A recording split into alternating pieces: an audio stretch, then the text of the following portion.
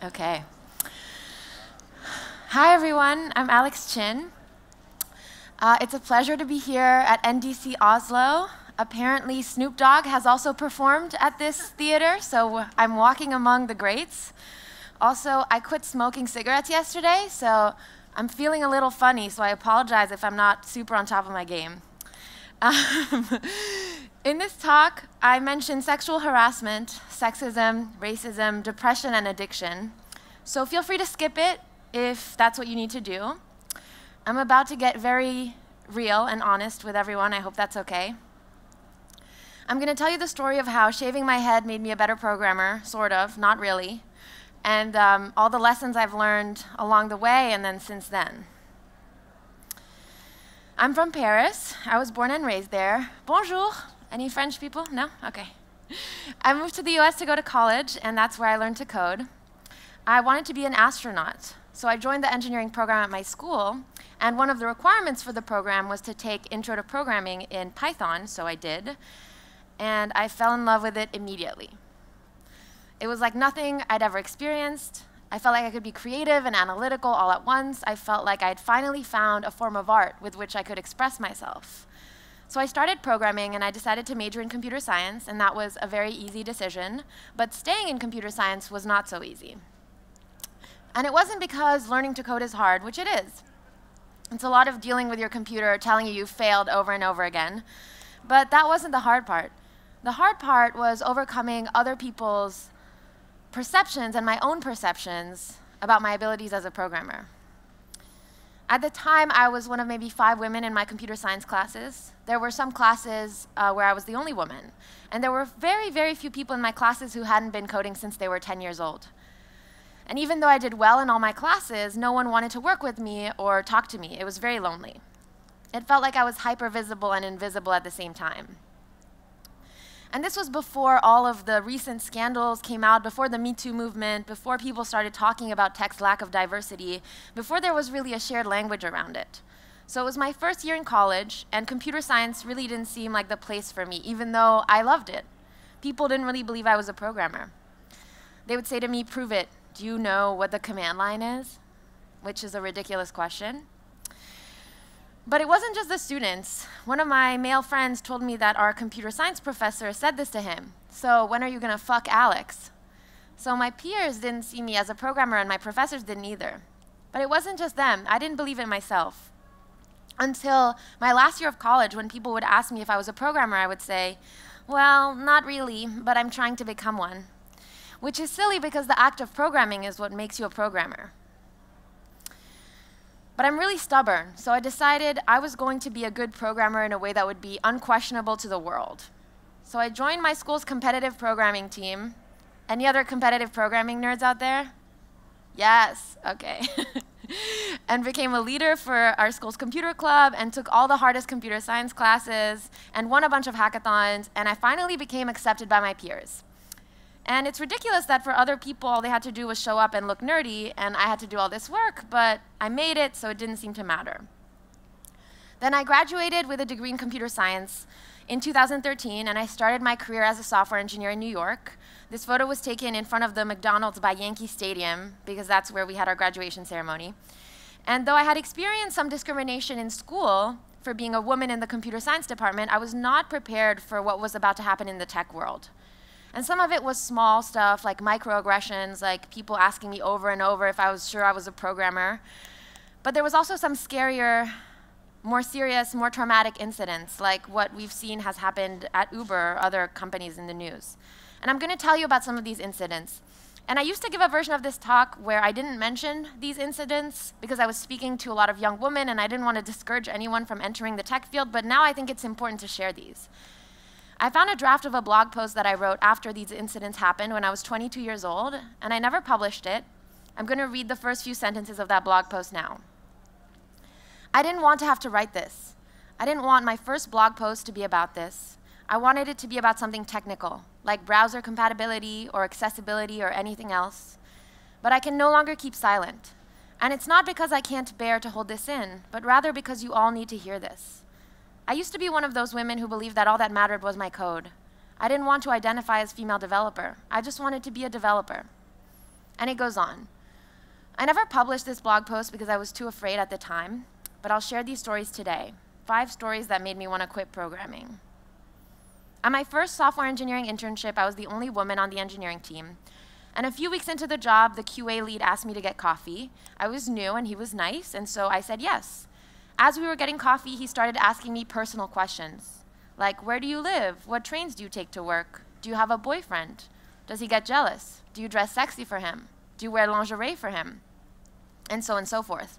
It made me very uncomfortable. I didn't know what to do or say, so I just finished my coffee as quickly as possible and headed back to the office.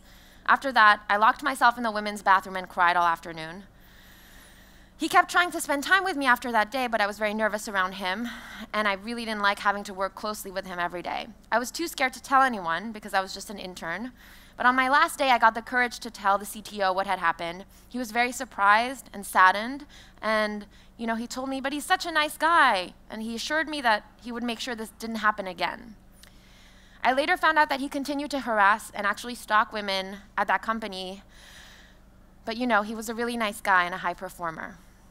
After that experience, I mostly wore jeans and t-shirts to work, and I stopped wearing makeup or perfume because I was afraid of getting that kind of attention again. After that, I got another job as a front end engineer. That team was great, and even though I was the only woman on the team, I felt safe and supported, and I was doing a great job. We were part of a portfolio of companies, so I got to attend a lot of tech events and conferences. The job was awesome, but what happened at those events was not awesome.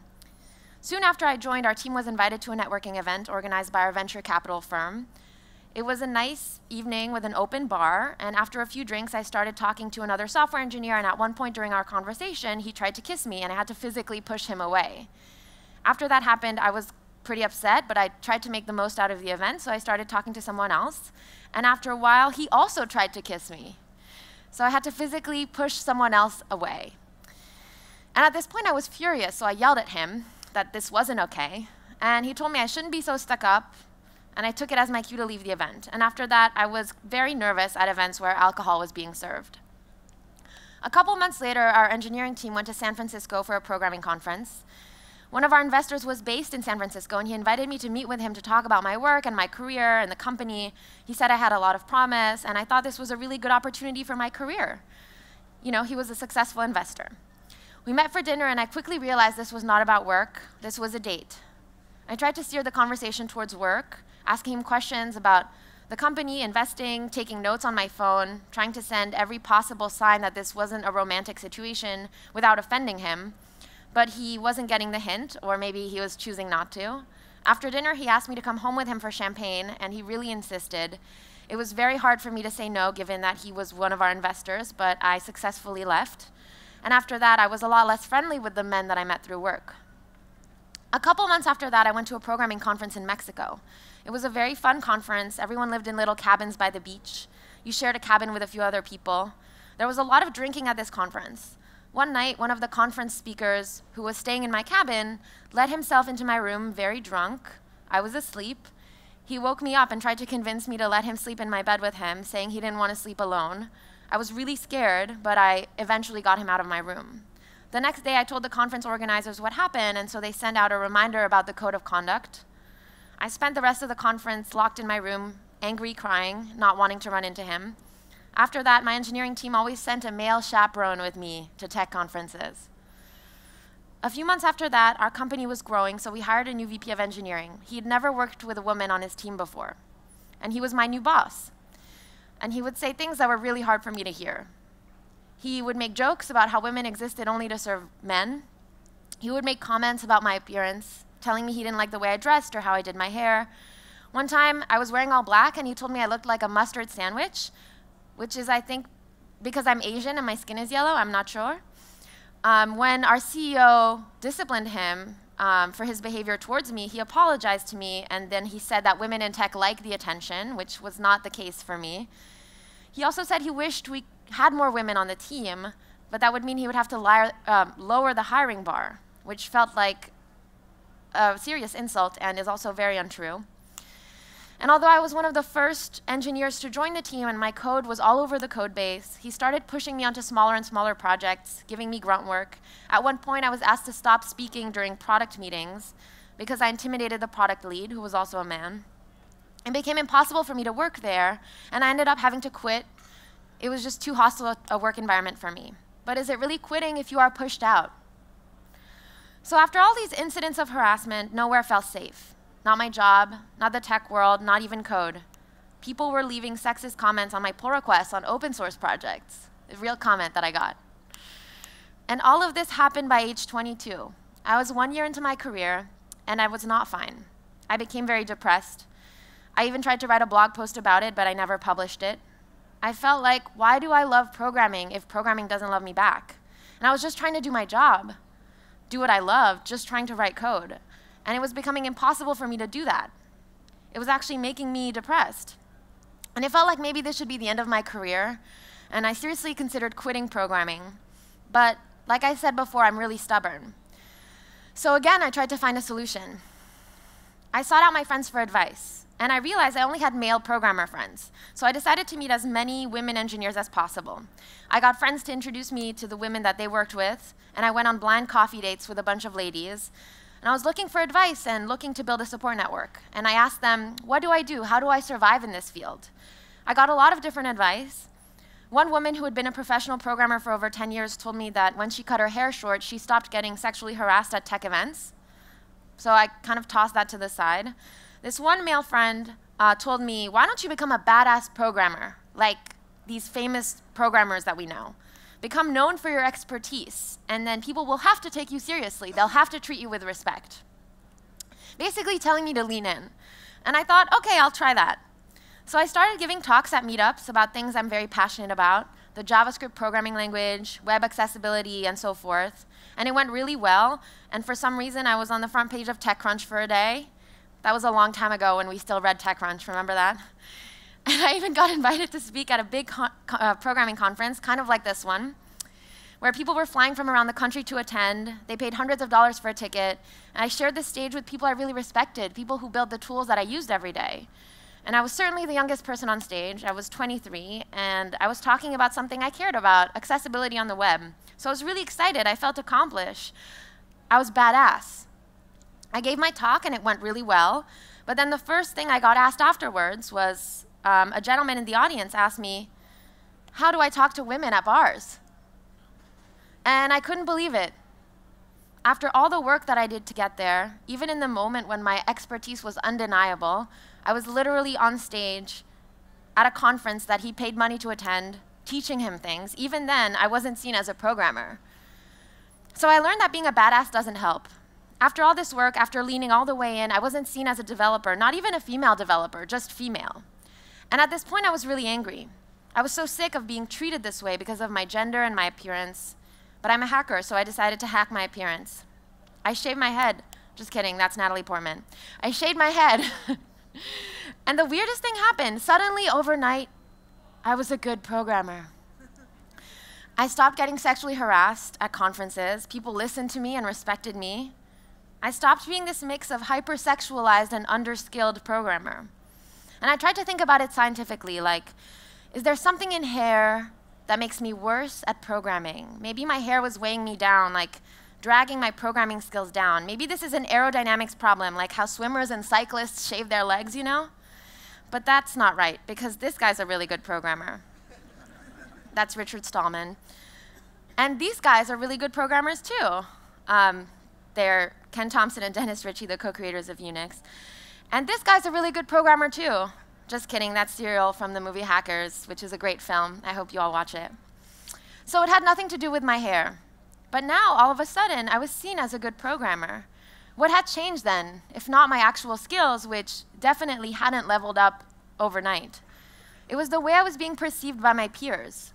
I was no longer this hyper feminine lady who didn't belong, and people even mistook me and my boyfriend at the time for a gay couple. And so I didn't present as feminine anymore. And so it was acceptable for me to be a programmer, and even a good one. And this was a mind blowing discovery for me because even though I knew that I was a good programmer in my heart and I knew that sexism was a thing, now I really understood it and had proof of it on a personal level. So I realized the tech industry is not a meritocracy, unlike I initially thought, unlike many people had told me.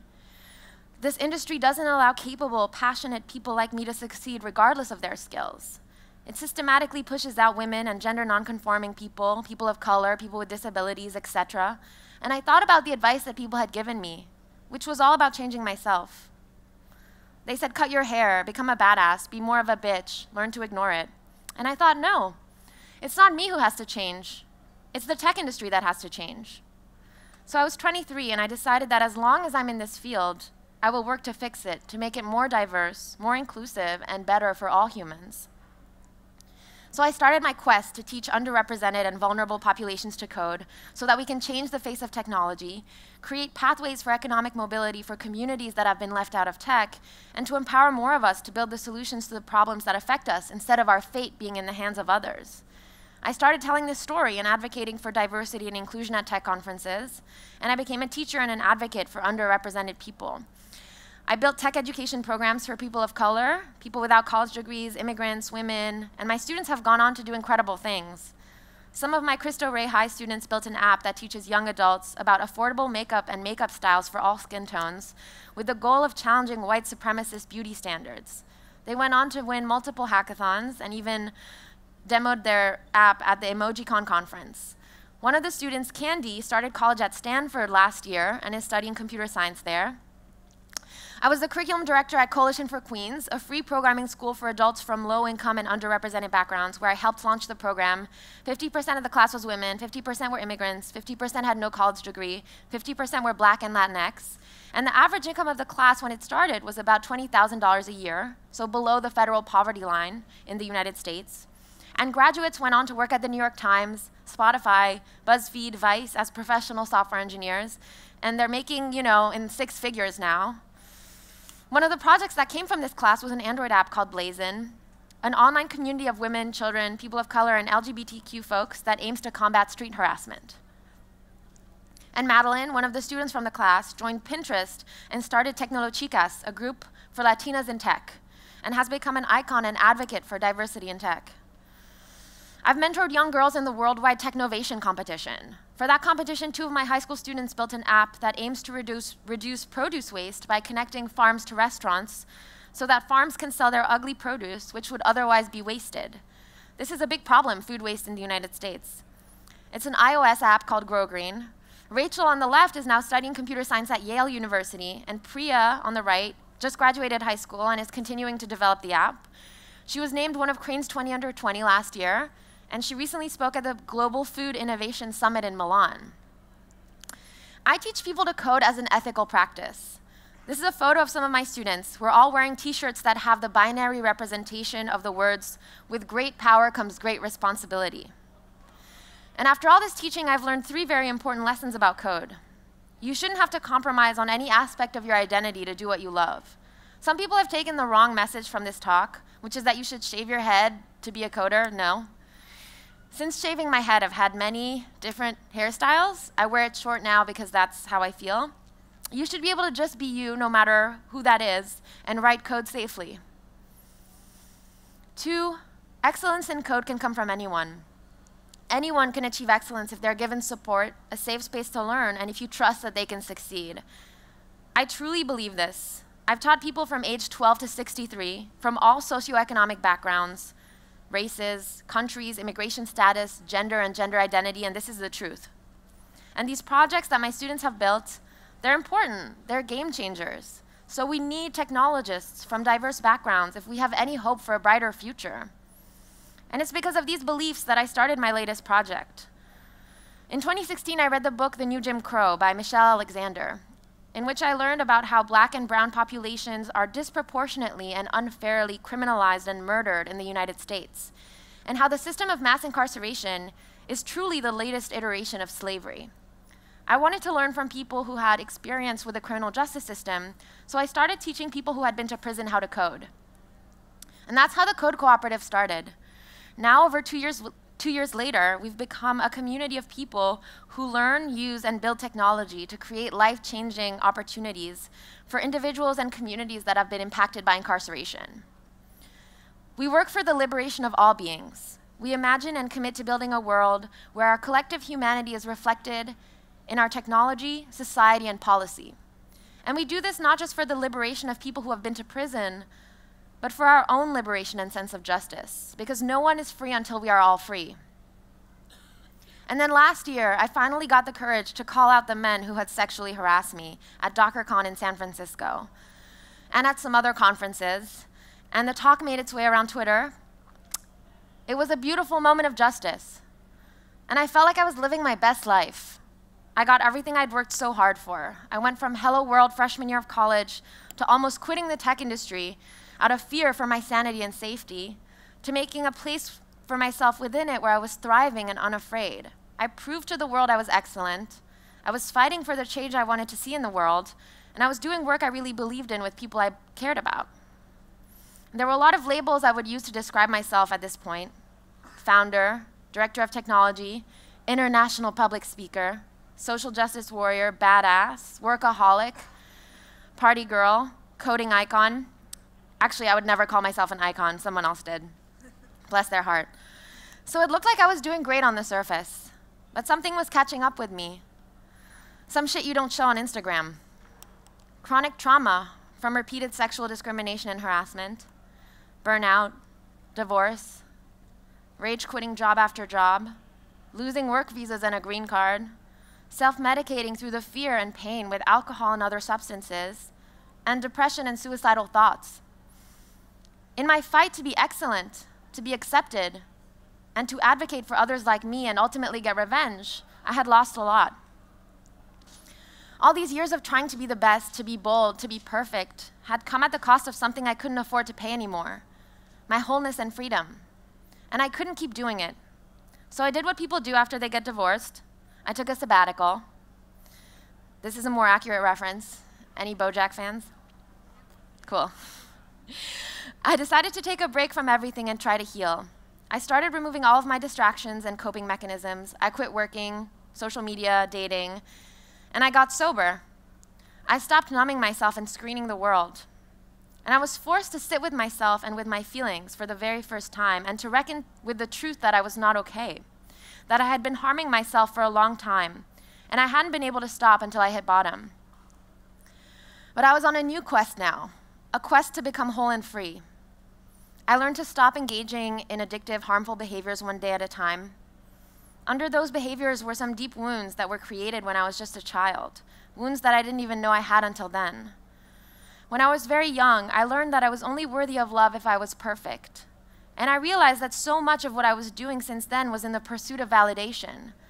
I wanted the world to tell me I was worthy because I didn't believe it myself. And because this was the story I had told myself my whole life, it would take serious work to unlearn it. I learned to meditate, and to practice mindfulness so that I would be able to change my thoughts. I started going to meetings with other people who are going through the same journey, trying to stay sober. And I shared with them all my challenges, my fears, and my shame, and I listened to them share theirs. And after a while of doing this every day and saying things out loud I didn't even believe and crying more tears than I thought were possible to hold in one body, things started to move within me. I truly hacked my brain. I learned that feelings are temporary Thoughts are not truths, beliefs aren't truths. And I can change my thoughts, my beliefs, and my behaviors. Using these tools, I've learned to stop causing harm to myself and others. I stopped drinking alcohol and doing drugs. I stopped reaching outside of myself for validation from work, success, or other people. I learned to practice honesty and authenticity instead of projecting to the world what I think will get me what I want, which is sometimes just as simple as being seen, being accepted, and belonging. I learned to let go of my personas one at a time. And I learned that I'm enough just as I am. And I started to make amends to the people that I had harmed friends, family members, coworkers, lovers. And through this process, I'm learning that I'm not the harms that I've done and what it means to be accountable to my actions and to work hard to make things right when I've done someone wrong. I learned what it's like to show up and sit in the discomfort and the pain to try to heal relationships instead of just walking away I've learned to look someone in the eyes and say, I'm sorry for hurting you. How can I make it up to you? And I commit to doing things differently. And this has been really hard. And I wouldn't have been able to get through it without the support of people who don't judge me and who hold me accountable to my values. Over the past few months, I've sat in a lot of different rooms and listened to people share stories about where they are from and what matters to them. Through hearing all these stories, I've come to realize a deep truth that I relearn every day that we are all the same. I've listened to people who didn't look like me, people I never thought I would relate to, and I've heard myself in their stories. Even though we have different wounds, different lived experiences, different circumstances, we all have pain. And we all want the same things to be safe, to be seen, and to be loved. And I saw the power of stories. Through telling them, we heal ourselves and others. Through hearing them, we remember the truth that we are all one and that we are all connected. Traditional African society uses the term Ubuntu to express the idea that each of us is fundamentally a part of the whole. It translates to, I am because we are. And this truth is why I'm here today. Within the past few years, many people have come forward with their own stories of harassment and discrimination in tech. We have been shocked by some of the stories we have heard or read, including my own. So we have poured billions of dollars into data collection, new hiring practices, unconscious bias trainings, educational programs for people from underrepresented backgrounds, and other diversity and inclusion initiatives. And where are we now? We continue to hear about incidents of racial and sexual discrimination, vile incidents that are harming people and communities. We are not hiring more black and brown people, as is shown by Google's latest diversity in tech report. Some of us are even proudly advertising white only job postings. And we are learning that leaders of our industry have been covering up years and years of sexual assaults. Needless to say, we are not in a better place, or at least not close to where we want to be. In the age of AI everywhere, and mass surveillance, and predictive policing, and tech as a solution to everything, and the severe implications of all of this on humanity, the issue of our industry and our society's homogenous and harmful culture is more critical than ever. We here in these rooms are the deciders of what happens to other people. Our decisions have real impacts. And that's why we need more different people in these rooms, because the future is in the margins. Our public shaming tactics and half hearted top down policies have not been working, because we are not addressing the root of the problem. We need to shift how we see each other in our relationships. We need to radically transform ourselves and our communities. We keep asking, how do we make the tech industry more diverse? But I've been thinking about a new question recently How do we heal? How do we heal our communities and our industry? How do we heal our internalized racism, sexism, transphobia, and all our other harmful beliefs, thoughts, and behaviors? How do we heal the harms that were done to us and the harms we have done to others? How do we heal our relationships? And how do we learn to be whole and free together? It was a little over a year ago that I gave this talk where I called out the men who had sexually harassed me. And I was asked to give the same one today, but I realized that I couldn't. When I called these men out, I shared their full names, photo, and where they worked. After years of staying silent, I spoke up, and I was really scared. But the response was overwhelmingly supportive. Within three hours, two women messaged me to tell me some of these men had harmed them too. I really felt like I'd done the right thing. I was a warrior, fighting for equality, giving a voice to the voiceless, telling others who had been victims of discrimination and harassment, I can speak up so you can speak up too. Or at the very least, this is messed up and you are not alone. And hopefully inspiring people to make a change in their communities so that others don't have to go through the same thing. And I know that some positive things have come from me doing this, but now I also see how some harm has come from this. When these incidents happened, I was so scared and so angry. I felt completely powerless. And the only way I knew how to regain my power was to take power away from those who had taken mine. And that's why I resorted to public shaming them. I did it in the name of truth and justice, but I also did it out of revenge. But public shaming is not the way that we heal as a community, and that's not the way that I heal. Because when I harm others, I harm myself, and hate cannot drive out hate, only love can do that. When these incidents of harassment happened early on in my career, it created a deep wound in me. I began to fear men in tech. A story was written in my mind that I will continue to be hurt by people who look like this. But this doesn't have to be the truth. There are many stories and beliefs I've learned throughout my life. They came from various places. When I was little, I learned that I'm not worthy of love unless I'm perfect, unless I'm the best at everything, that's why I never gave up in my pursuit for success and greatness in software. I couldn't give up, even if it was harming me. When I started coding, I learned the story that tech is a meritocracy, and if I'm good at code, then I will succeed. And if I don't succeed, it must be that I'm not a good coder. From the media and my teachers, I learned that women and minorities are just less interested in coding, and white and Asian men are better at it. But something happened that made me unlearn that story, and I learned a new story that tech is not a meritocracy. Excellence in code can come from anyone, and we all deserve an opportunity to be a part of this community, this industry, and to co create the future. We all deserve to be here, to be safe, and to thrive, no matter what body we were born in. We have all learned stories. We learn stories about what it means to be a woman, what it means to be a man, what gender is, who is a criminal, and who is not deserving of being treated like a human. We didn't choose these stories. We learn them from our parents, from our teachers, from our friends, from the media, and from society. But we can unlearn these stories, and we can choose to learn new ones. The story of who is a programmer was created in the 1980s. Women invented computer science and were the first programmers. In the 80s, there was a big drop in women programming. That's when personal computers started showing up. Personal computers were basically toys, so companies decided to market them to men and boys. And this idea that computers are for boys became the story we told ourselves about computers. It defined who geeks were. The image of the boy genius programmer emerged, and this led to where we are now. A place where the story is so old and so strong that we can't tell it's not the truth and we can't tell where it came from. And so we treat each other like this. But this is just a story. And now that we're aware of it, we can unlearn it. But being aware isn't enough. Changing our behaviors, thoughts, and beliefs takes work. The stories we've learned about who belongs in our industry and who gets to succeed are like air we have been breathing in for a very long time toxic, poisonous air. And because these stories have been there for so long, it will take time to rewrite them. These are the most traveled neural paths in our brains, but we can travel new ones.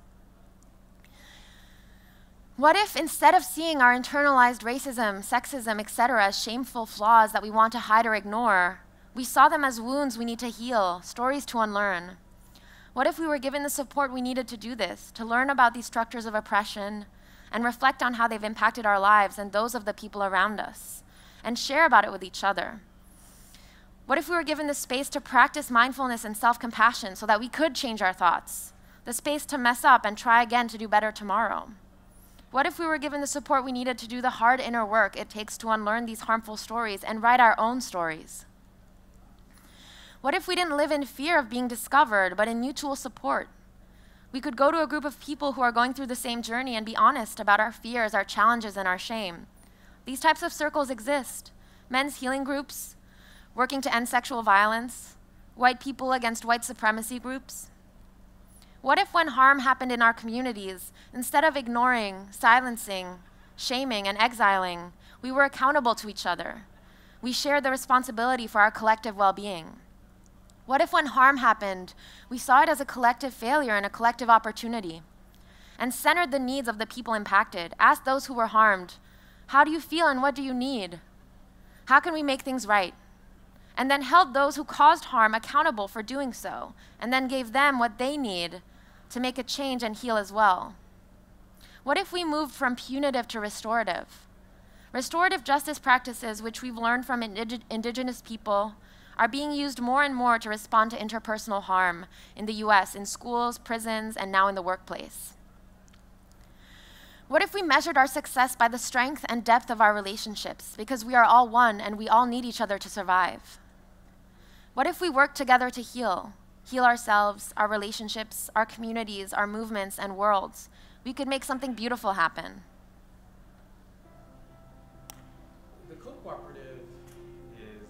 Very unique program in the sense that it's bringing together people who normally don't get a chance to actually interact uh, very often. For a lot of our students, traditional job paths aren't necessarily an option because of their history with the criminal justice system. What we do is provide free technology education to formerly incarcerated and justice involved individuals as a pathway to equity.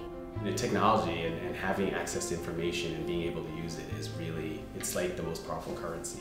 Allowing someone to tap into their own creative energy, their own ideas, and be able to sort of like magnify that just by learning some basic things like HTML and CSS is super important.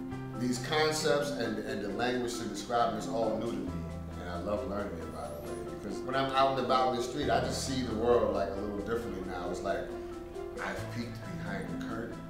Even though you serve your time, I still can't vote. You know, I, I can't get public housing. I'm not asking for a handout, I'm not asking for a hand up. People that have been affected by the justice system are put at a big disadvantage in our society. They're discriminated against because of their form of incarceration. These skills are essential to help people get jobs and support themselves. So I think it's, it's a way of leveling the playing field. We pair each of our students with a mentor who is a professional software engineer. That relationship between the mentor and the mentee, because it's one-on-one, you get to really sort of tailor the interaction really towards supporting the, the mentee as, as much as possible. If it's just you wanting to know basic knowledge of how to browse the web and how to check an email, it's worth it.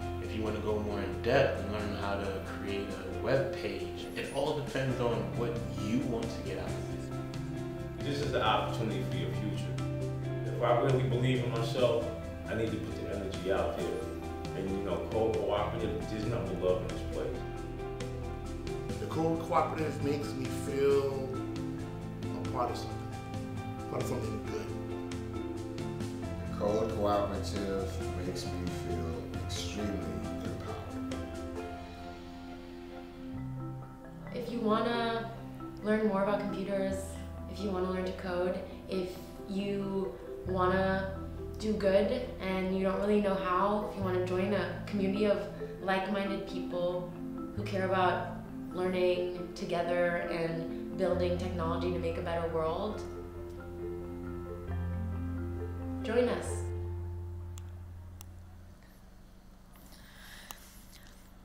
I imagine a world where we are no longer harming each other, where we all have access to food, shelter, education, and love, where the body we were born in doesn't determine what opportunities we have access to, where we aren't destroying our planet, where there are no prisons. I truly believe we all want this. This world is within reach. We have everything we need to get there. We have all of the information we need to create a change. It isn't a matter of facts, it's a matter of longing, of having the will to imagine and implement something else. And we have to start right now. We have spent too long going in the other direction. And all we have to do is to start with ourselves. I truly believe that you transform yourself to transform the world. I have been learning a new story that I'm worthy no matter what I do, no matter what other people say, that you are not separate from me, and that when I hurt others, I hurt myself, and that my own liberation cannot come at the cost of harming others.